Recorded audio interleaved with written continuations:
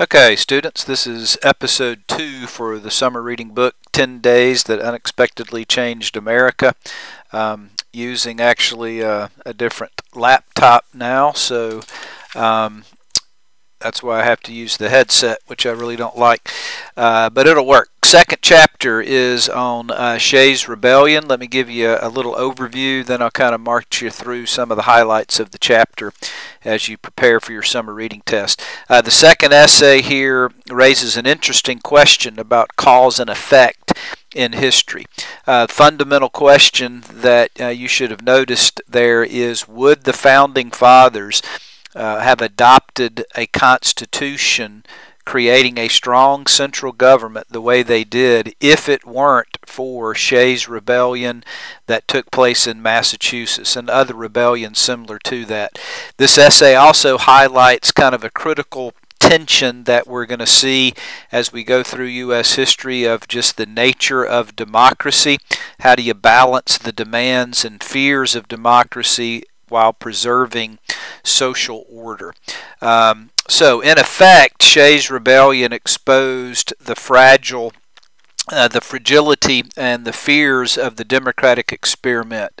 Um, James Madison viewed Shays' rebellion as a warning, and like I pointed out, major result is that it led to the creation of a fairly strong central government under the Constitution because of fears of the mob, what one person referred to as mobocracy.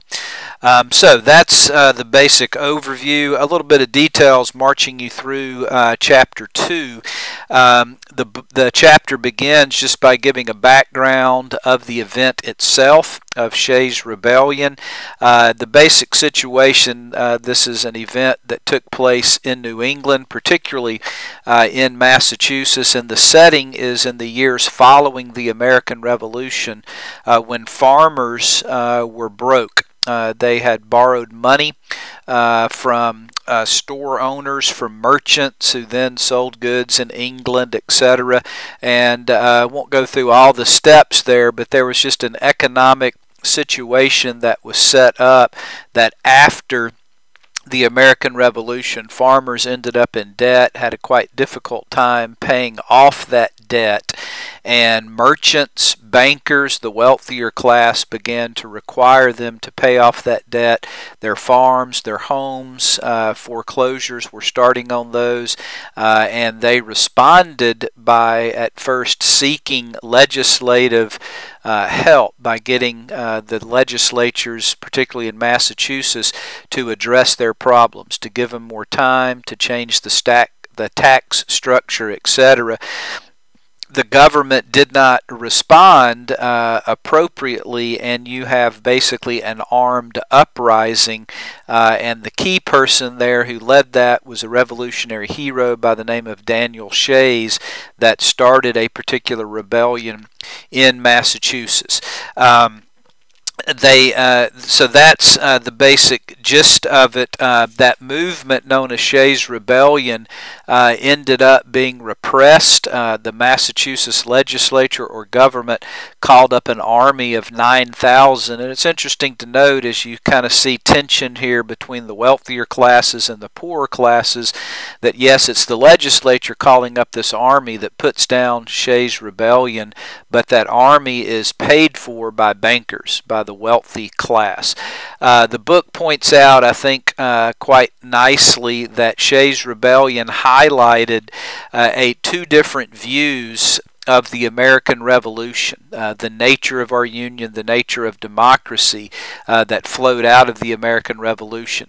Those who would have been involved in Shays' rebellion viewed the American Revolution as a triumph of liberty. They would have championed democracy. Citizens had banded together during the American Revolution uh, to depose an oppressive and unresponsive British government.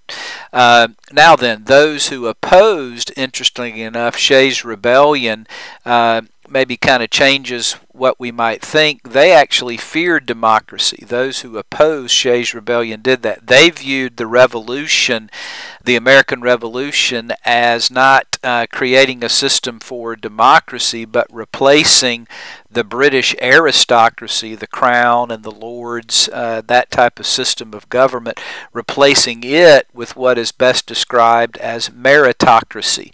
Uh, merit. Those who should rule should be the best men, perhaps the wealthiest or the smartest, but everyone, no. There's a fear of democracy uh, that comes out of that. So, an interesting tension that develops there like I mentioned, the rebellion was put down uh, by the Massachusetts militia, but then the chapter continues and develops a couple more ideas, even though the Shayites lost the rebellion, they won the peace. And what that means is that the legislature of Massachusetts and throughout England began to pass laws uh, that gave those who were in debt more time to pay the debt off, passed some changes that ended some of these foreclosures. So the rebellion's put down, but concessions are made to those uh, to the to the poor people, to the poor farmers, uh, particularly of Massachusetts. Uh, the major result, and I've already mentioned that it leads, Shays Rebellion leads to a strong government under the Constitution. Uh, but the steps to that, one of the main results is that it pointed out the weaknesses of the original government or the original Constitution called the Articles of Confederation. So Shays Rebellion takes place in a push to discard the Articles, which were very weak uh, the government couldn't tax the people, didn't have a militia, no single executive couldn't regulate trade. A whole lot of weaknesses of the articles, but people were willing to live with it until Shays' Rebellion.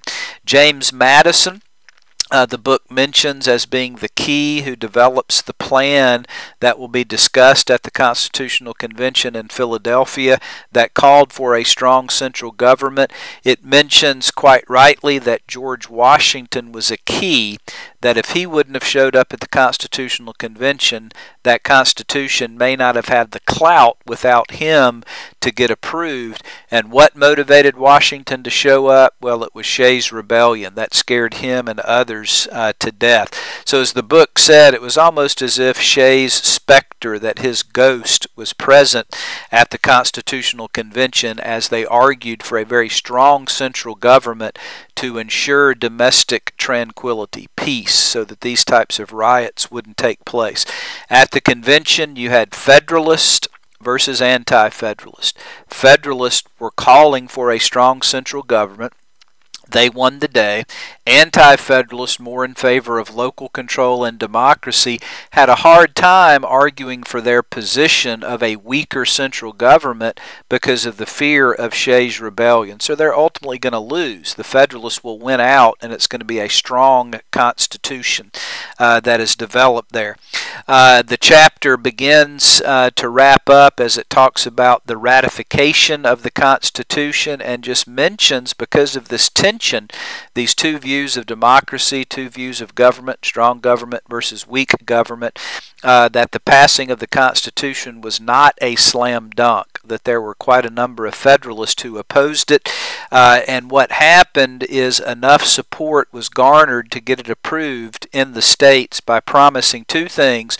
One was a Bill of Rights and the other thing that garnered uh, support of the Constitution was the writing of a series of documents called the Federalist Papers, which argued point by point uh, all the benefits of this Constitution that had been formulated. Those two things led to the Constitution being passed. So, in conclusion, on this chapter on Shays' Rebellion, what does it point out? It points out that the gap between American ideals of democracy and the realities of power emerged as tension, uh, which we can still see today. Yes, we believe in freedom of people, democracy, but yet it has to be limited. And when the Constitution was written as a result of Shays' rebellion, created a very strong central government. Hope this helps.